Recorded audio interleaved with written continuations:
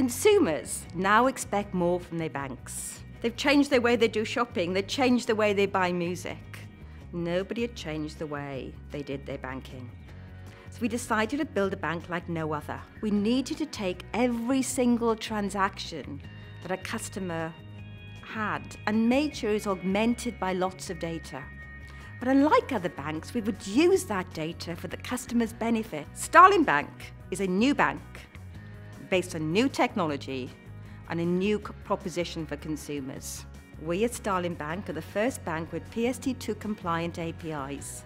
And it's been that way since day one. Open APIs allow consumers to consume and own their data. And it allows consumers to share that data with people they trust. With all this data that the consumer owns, not the bank, but the consumer owns, we can actually use so much machine learning and artificial intelligence to give people insight. And that insight can help people figure out whether they have enough money to the end of the day, the end of their life, whether they have enough pension, whether they're going to need to save more. We are providing fundamental services that help people with their financial life. At Starling, we deploy new functionality several times a day. We constantly take feedback from our customers and refine and deliver. AWS provides the opportunity for us to scale.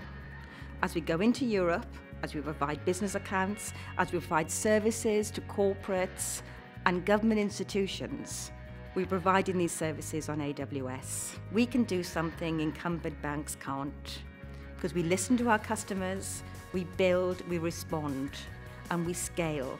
But to do that, we needed capability, we need compute power, we needed lots of data storage, and that's why we came to rely upon AWS. An infrastructure that allow us to grow, to scale, and to change very quickly.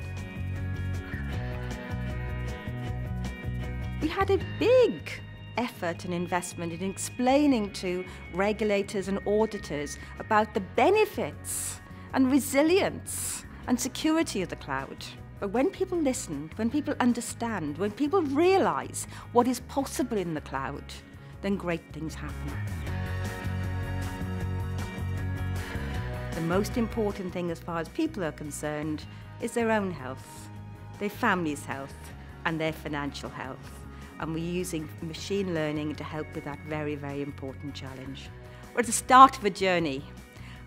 We're launching in Europe, we're launching business accounts, we're already serving large corporates and governments in the UK. And fundamentally, we're doing this on AWS. We're doing this for services that are scalable and resilient. We have a long way to go, and it's based on AWS.